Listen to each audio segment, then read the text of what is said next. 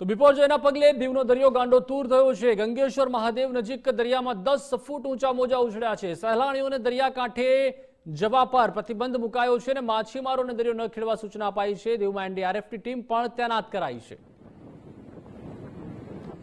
તો બિપરજોયના પગલે દીવનો દરિયો ગાંડો તૂર થયો છે અને દરિયાનો કરંટ આપ જોઈ શકો છો.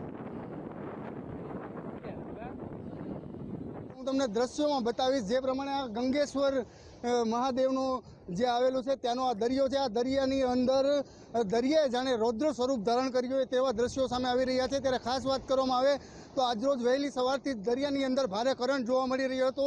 ત્યારે આઠથી દસ ફૂટ જેટલા ઊંચા મોજાઓ ઉછળી રહ્યા છે. ત્યારે વહીવટી તંત્ર દ્વારા લોકોને દરિયાની નજીક ન જવાની સૂચનાઓ આપી દેવામાં આવી છે. તેમજ માછીમારોને દરિયો ન ખેડવાની સૂચના આપવામાં આવી છે.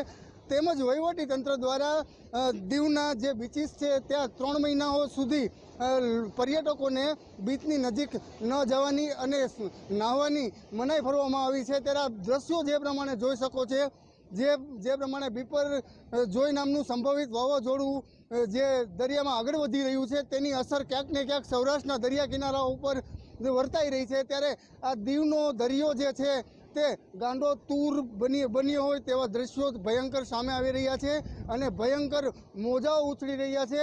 ત્યારે ખાસ વાત કરવામાં આવે તો વહીવટી તંત્ર જે છે તે સાબદું બન્યું છે અને વહીવટી તંત્ર દ્વારા હાલ થોડી વારમાં જ દીવ જિલ્લાની અંદર તમામ જગ્યાએ સમીક્ષાઓ પણ કરવામાં આવશે. તેમજ એક એનડીઆરએફની ટીમ પણ અહીંયા સ્ટેન્ડ બાય કરી દેવામાં આવી છે. ભાવેશ ઠાકર, ગુજરાત ફર્સ્ટ દીવ.